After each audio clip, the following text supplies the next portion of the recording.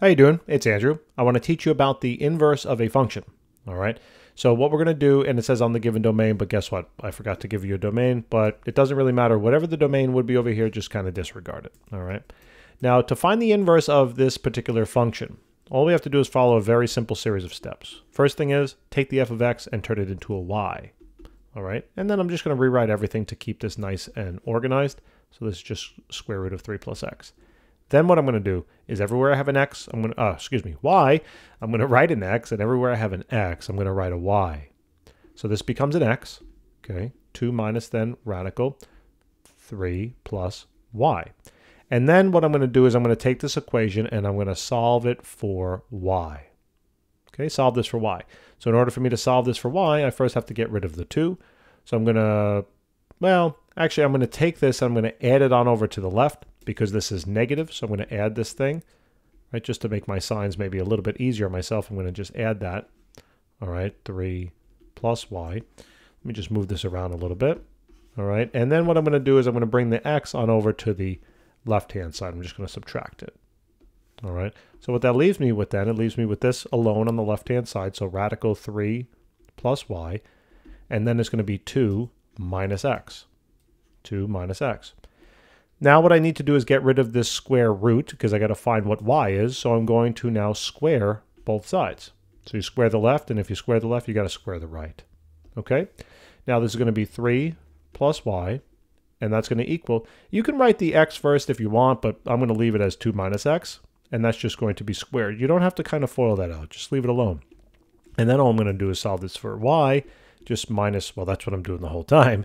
But now I'm going to just subtract 3 from both sides, right? We just simply subtract a 3 from both sides. So y is going to be equal to 2 minus x squared minus 3.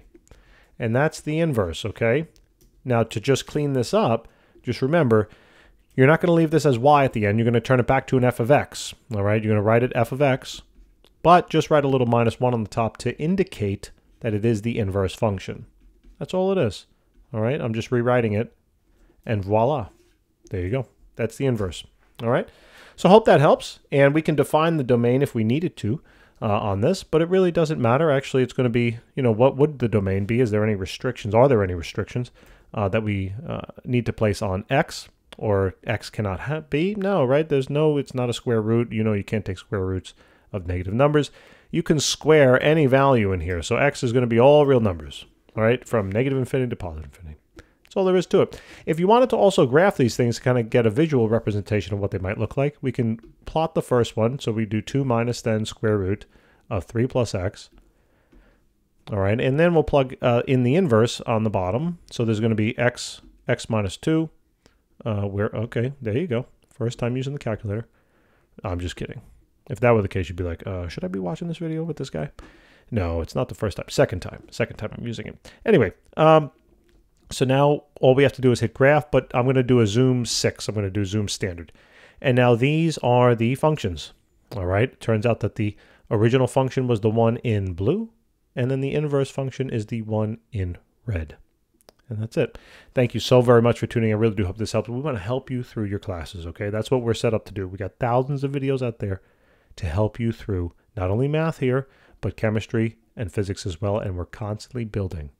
All right. Just for you, we want to help you through your tests. We want to help you get to where you got to go. Well, academically speaking, I can't really help you if you have to go to the supermarket. Uh, well, maybe I can. Give me a call. Maybe I'll come by and pick you up. All right. Cool. Take care.